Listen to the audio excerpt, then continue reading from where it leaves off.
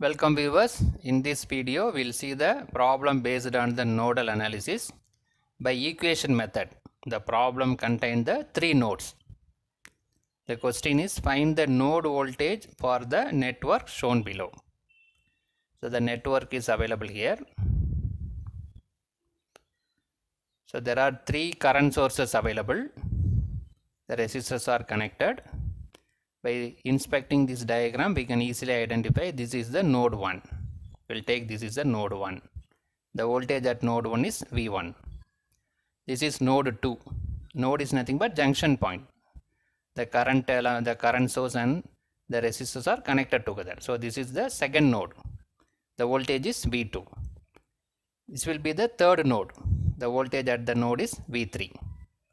So this is the reference node, the return point reference node node 4 but the potential at this reference node is 0 so we have three nodes 1 2 and 3 with voltage v1 v2 and v3 and fourth node is the reference node. So our aim is to find the node voltage v1 v2 and v3 the current sources available see the current direction. So going in the right hand side. It means it is going towards the node 2 going away from the node 1. Similarly, this current source going away from second node going towards the third node. Similarly, this one going towards the first node away from the third node. So, the current direction also important.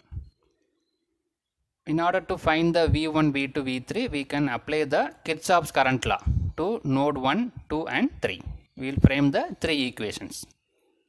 By applying the Kirchhoff's current law to the each three nodes, we can frame the equation. By solving the equation, we can able to find V1, V2 and V3.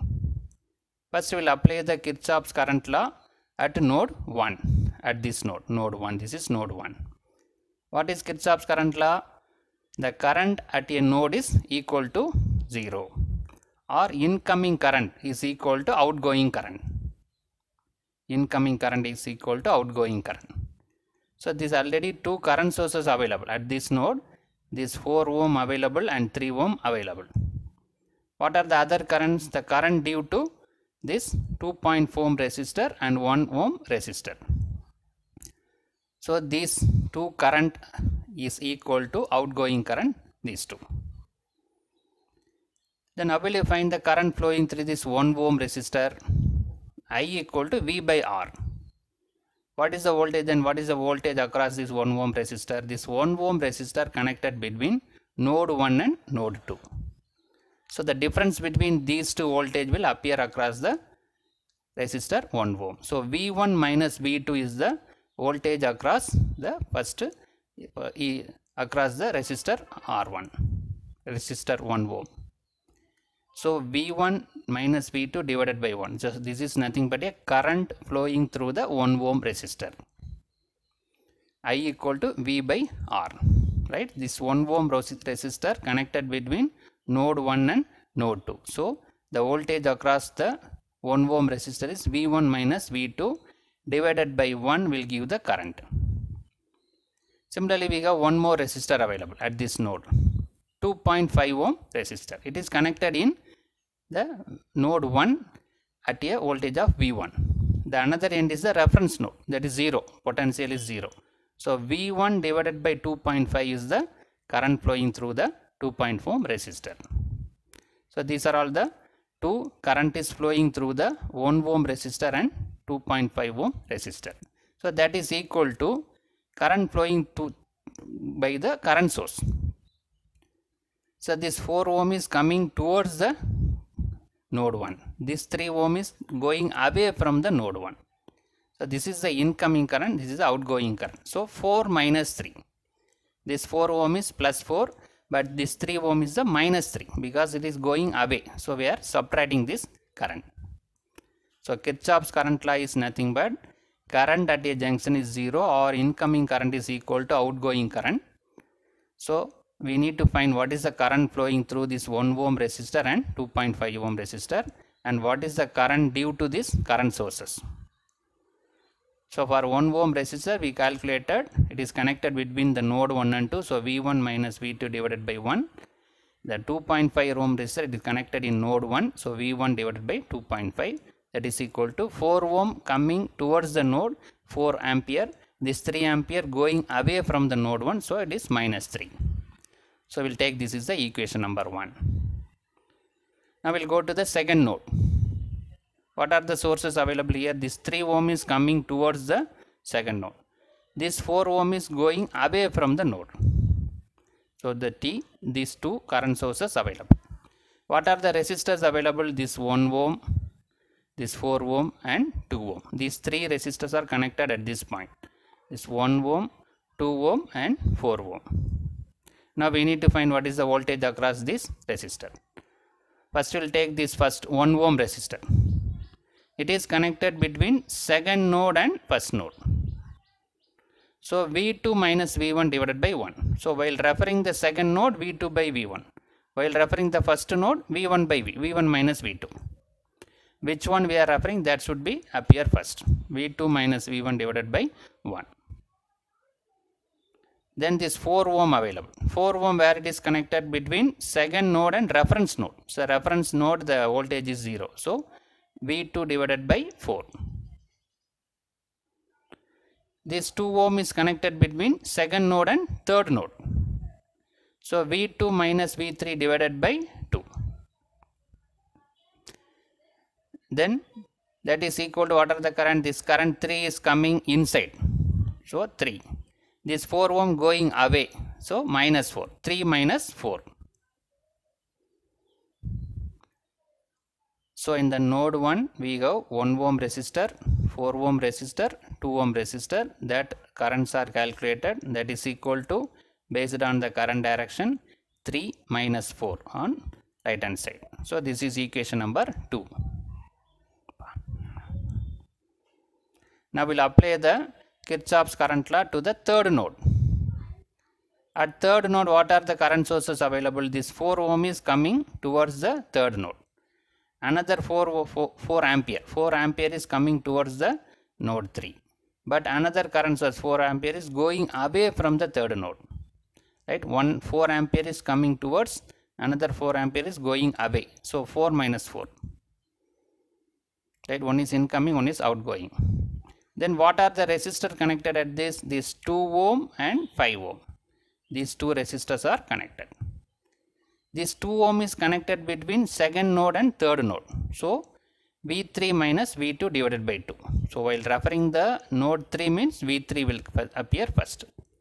V3 minus V2 divided by 2. This 5 ohm is connected between node, third node and reference node. Reference node is the uh, potential is 0. So V3 divided by 5 that is equal to 4 minus 4. This is equation number 3. Right. So we need to find node 1 node 2 means first we need to find what are the resistors connected what is the current flowing the resistor that is equal to what are the current sources whether incoming or outgoing accordingly we need to frame the equation now we will simplify these equations so that we can go for a solution. By solving these three equations we are able to find the node voltage v1 v2 and v3 first we'll consider the equation 1 this equation 1 will simplify this. Equation 1 is v1 minus v2 divided by 1 plus v1 by 2.5 equal to 4 minus 3 so v1 minus v2 by 2 means 1 means v1 minus v2 v1 divided by 2.5 means 0.4 v1 this 1 divided by 2.5 is 0.4 that is equal to 4 minus 3 means 1 right so here V1 is available, here 0.4 V1 is available. So 1 plus 0.4, 1.4 V1 minus this V2 that is equal to 1. We'll take this equation number 4. Now equation 1 is simplified and given as a given the number as 4. Now consider the second equation V2 minus V1 by 1, V2 by 4 plus V2 minus V3 by 2 equal to 3 minus 4. So this one can be written as V2 minus V1. V2 by 4 is 0.25 V2. 1 divided by 4 is 0.25. 1 divided by 2 is 0.5. 0.5 V2 minus 0.5 V3 equal to 3 minus 4 is minus 1. Now this V1 is available here, minus V1. V2 available, V2 0.25 V2, 0.5 V2. So 1 V2 plus 0.25 1.25. 1.25 plus 0.5 is 1.75 V2. Then v, 1 V3 term is available minus 0.5 V3 equal to minus 1. We'll take this equation number 5. Now equation 2 is simplified and framed as it is named as given the number as 5. Now we'll take the third equation V3 minus V2 divided by 2 plus V3 by 5 equal to 4 minus 4. So this 1 by 2 is 0.5. So 0.5 V3 minus 0.5 V2 plus 1 divided by 5 is 0.2 V3 equal to 4 minus 4 is 0. Here the V2 is available. V1 is not available. So minus 0.5 V2. V3 available 2 times. 2 times. 0.5 V3 plus 0.2 V3. So 0.5 plus 0.2 is 0.7 V3. That is equal to 0. We take the equation number 6. Now equation 3 is simplified and given the number as 6. So from equation 1, 2, 3, we framed the simplified equation 4, 5, 6. Right? So these 4, 5, 6 equations are available. So this is equation 4, 5 and 6. So by solving this equation, we are able to find the voltage V1, V2 and V3. Now consider the equation 5 and 6. In this we are going to eliminate the term V3. From equation 5 and 6 we can eliminate V3. In order to eliminate here the coefficient 0.5 is available. Here 0.7 is available. So you have to multiply in a reverse order. This equation is multiplied by 0.7. This equation is multiplied by 0.5. So that we'll get the same coefficient 0.35. Right? In order to cancel this V3, this 0.7 is multiplied with equation 5. 0.5 is multiplied with equation 6 so that we'll get the same magnitude same coefficient in V3 so equation 5 is multiplied by 0.7 this equation available.